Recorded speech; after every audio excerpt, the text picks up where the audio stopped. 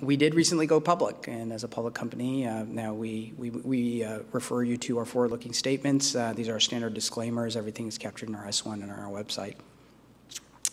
In the limited time I have, I really want to emphasize why I think right now is a really exciting time for next generation precision medicine therapies for heart disease, which is where Tenaya is focused on today. Um, you know, heart disease is still the leading cause of death in the world, more than all oncology combined, um, and that in itself makes it an interesting therapeutic area. But what's really exciting is really the fact that we now we have increasing genetic insight. As I was sharing on the panel earlier, um, we can we now are aware of more than 250 conditions, genetic cardiomyopathies, or monogenic disorders where the heart is a primary source of morbidity and mortality. Um, and so we can now take this very large indication and start uh, peeling back the onion and stripping it down based on genetics and genetic insight. And with that, then, we have the opportunity to apply some of the same precision medicine uh, approaches that have been successful in oncology and other therapeutic areas and now apply it to the heart. And there's some early clinical validation of such approaches working from a clinical and regulatory perspective, uh, including an ATTR cardiomyopathy and hypertrophic cardiomyopathy. But what's been missing is that drug development toolkit to really make this into, uh, an, into a business and to make it into a broad uh, pipeline. And that's where uh, some of the work that we're doing in Tenaya comes in. So we are 100% focused on the heart.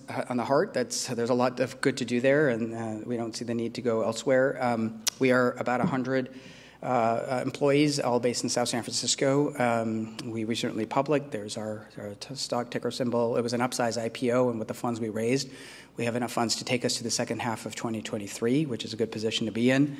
With the, with the funds we've raised to date, um, we've invested heavily in internal capabilities, which I'll speak about later, as well as building a very, very strong scientific foundations. Some of that has been uh, inherited from our founders, including Deepak Srivastava at the Gladstone Institute and Eric Olson at UT Southwestern.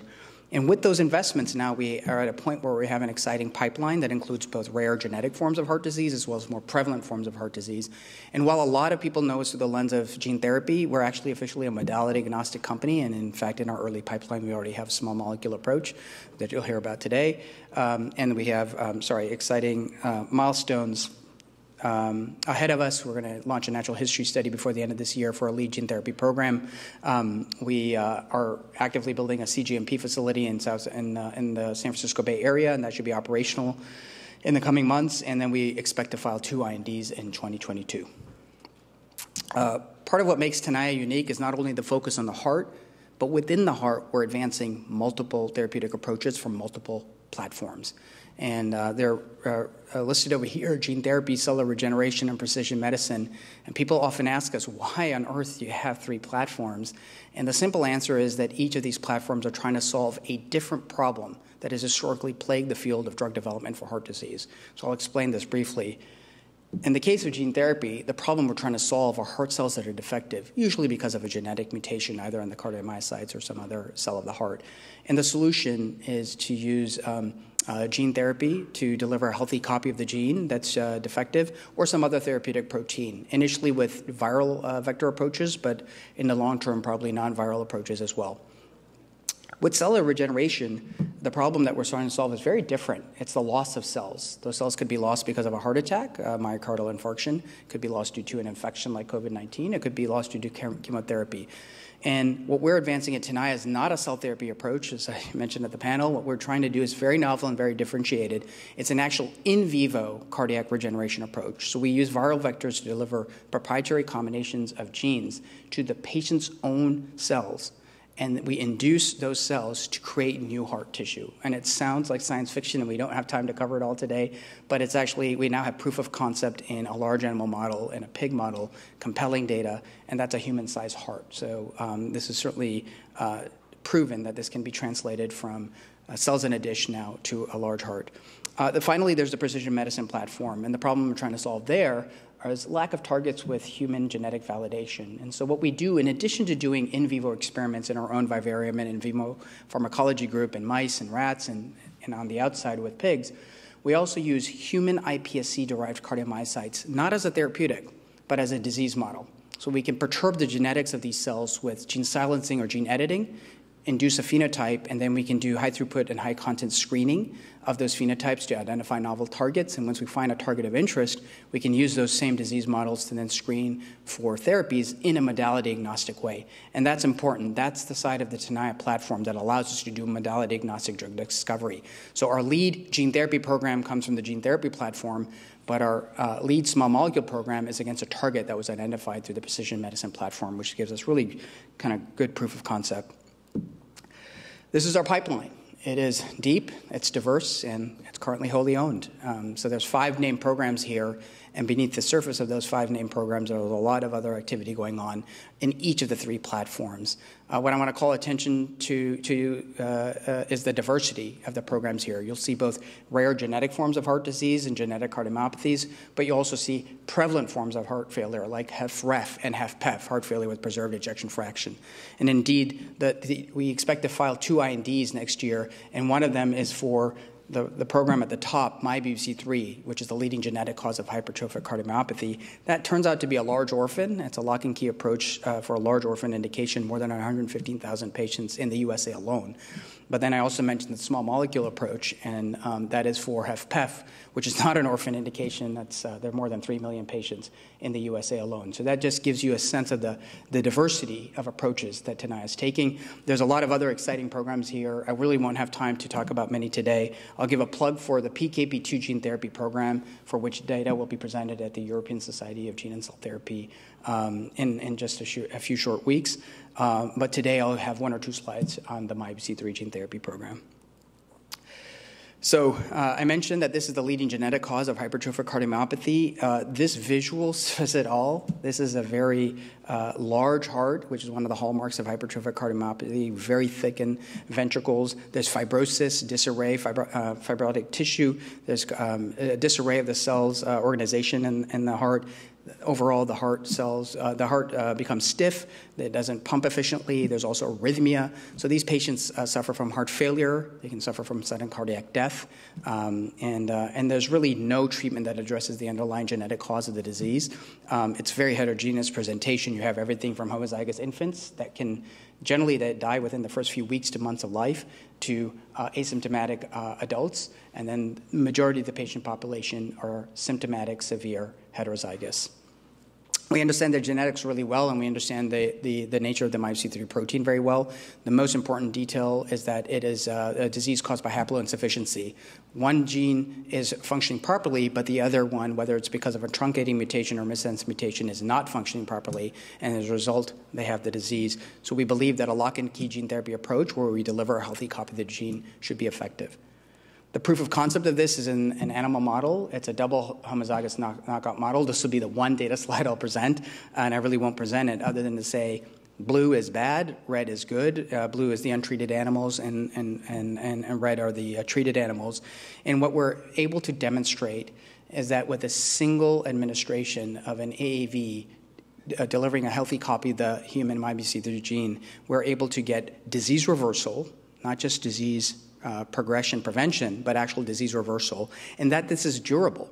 And actually, we've taken this experiment out more than 20 months, and uh, with no diminution of effect. 100% of the, um, of the uh, control animals are dead, 100% of the treated animals are alive. So it's a pretty dramatic result. So um, we're seeing a 20 to 30% improvement in ejection fraction versus control. 5% would be considered clinically meaningful. So 20 to 30% would be a dramatic effect.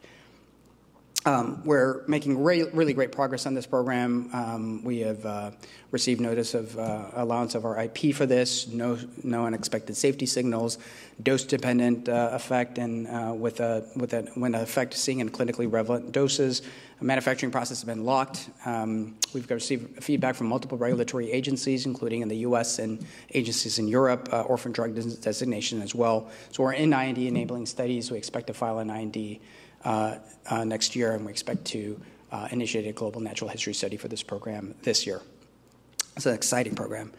Um, I won't have time to cover the other programs, and I'm down to five minutes. So, in the remaining time, I'm actually going to capture other parts of the Tenaya story that makes us sort of uh, unique. And, and, one of them is the capabilities that we've chosen to internal, internalize and integrate. Uh, we put them in these five buckets disease models, capsid engineering, promoter and regulatory element design, uh, delivery, uh, as well as AV manufacturing. We don't have enough time to cover all of these in any uh, amount of detail, but what I can share is the benefits that have accrued to us by internalizing these capabilities, all focused on the heart. Uh, one is speed. We can go from product idea to initial product construct to development candidate very rapidly because of the internalization of some of these capabilities and develop deep, deep disease insight.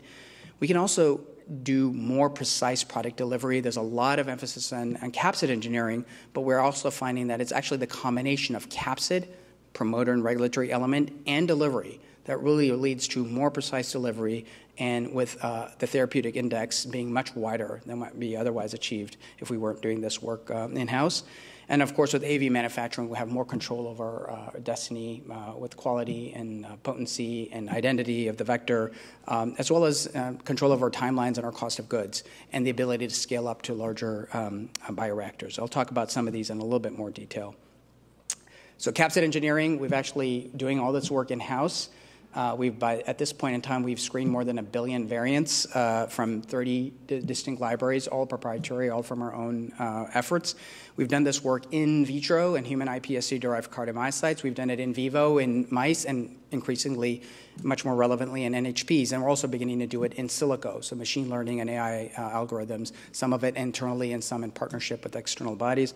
We already have proof of concept from first generation screening efforts that started in 2019 that we can create vectors that are outperform AAV9 in multiple dimensions. I've shown one example over here uh, where five times better heart to liver um, uh, transduction uh, compared to AV9, uh, which we think is great, but we think we can do better. We're already on to second and third generation efforts to find even better vectors uh, to adopt that could outperform AAV9. Um, however, I think there's a lot of emphasis these days on capsid engineering. What we find is that what's actually equally, if not in some cases more important, is the actual design of the cassette, including the promoters, cardiac specific promoters, and other regulatory elements. And in our different programs over here, we have one example after another where through the, the molecular engineering of the actual cassette, you can uh, achieve higher expression, for example, within a cell, cell in the heart that's sort of uh, the, the, graph on the far right, well above what can be achieved with a standard cardiac troponin T promoter. On the one on the left, uh, in our MyBC3 program, it was the uh, molecular engineering on the promoter as well as the cassette that really made the difference, much more than a different route of administration or, uh, or, or, different capsid. And in a regeneration uh, pro, project using reprogramming, that's the center panel, we were able to find novel regulatory elements that allow us to express uniquely in the cardiac fibroblasts and to detarget the cardiomyocytes. So in some cases, we're not only achieving higher expression and more selective expression in the heart versus other organs, we're actually able now to fine tune which specific cell in the heart are you expressing the gene in? And for one program, it might be the cardiomyocyte, and the other one, it might be the cardiac fibroblast. That's just the kind of work that most folks are not doing, and I think something that gets lost in all the emphasis on somebody trying to find what they think is the absolute best capsid, um, when that might actually make the difference. It really depends on the disease biology. Um, finally, on manufacturing, we have made significant efforts early on in our corporate history. We, are, um, we started off with a, vector core, and we're working from the shake flask to the 50 liter scale.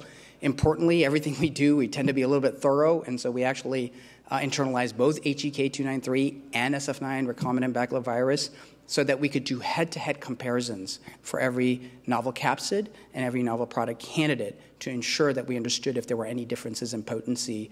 Um, between one program, or one platform or the other. Uh, once we uh, establish the comparability over there, then we scale up to 200 liter in-house. So we are now in a position where we can produce our own vector, not only for the in vitro and in vivo work in our in small animal models, but even when we're running, running large animal uh, model studies in pigs, 40, 50 pigs, we can produce all that vector, high quality, high, um, high purity, uh, in-house. Uh, we can do all the IND enabling GLP tox studies uh, internally. But we didn't stop there. We're now scaling up to uh, 1,000 liter and a CGMP facility that we're going to uh, that is construction is underway. The site has been selected. All the work is coming together very nicely, and so we intend to produce the first drug for the first in human study from our own wholly owned uh, manufacturing facility, and and so we don't expect to rely on CDMOs really for either early you know research or for clinical manufacturing in the near future.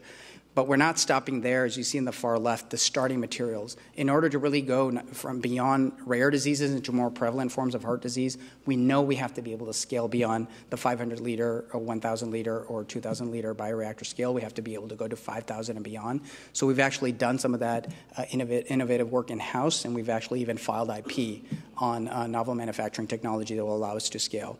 So, you know, hopefully in the short time that I had, and where at time I've conveyed to you a sense of um, how dynamic and how interesting Tenaya is as a company today and, and, a, and, a, leading, an emerging leader in next generation therapies for heart disease. Uh, importantly, our catalyst next year, we expect to file two INDs in, in, um, in 2022.